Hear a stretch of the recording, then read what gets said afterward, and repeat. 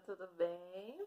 Hoje vamos acordar o nosso pífano, o som do vento.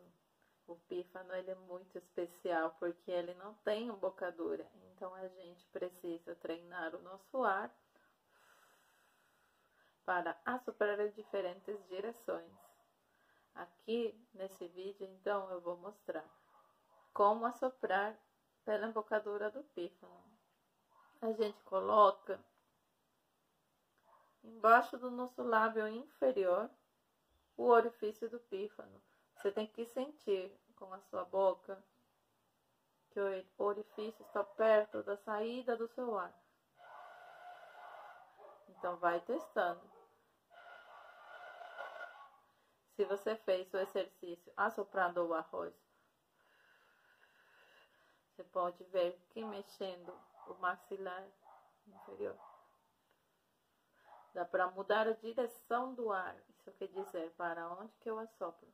Para cima, como assoprar uma vela, ou para baixo, como assoprar para mim. Essa é a direção do nosso ar.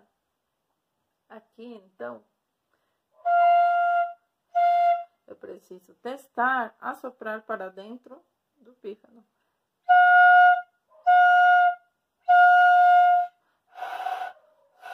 Se não sai o som, é porque meu ar está saindo para frente e não está entrando na flauta.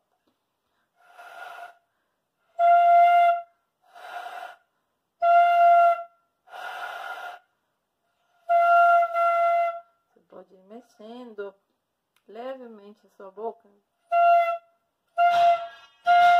até achar o lugar onde cabe o ar dentro do buraquinho.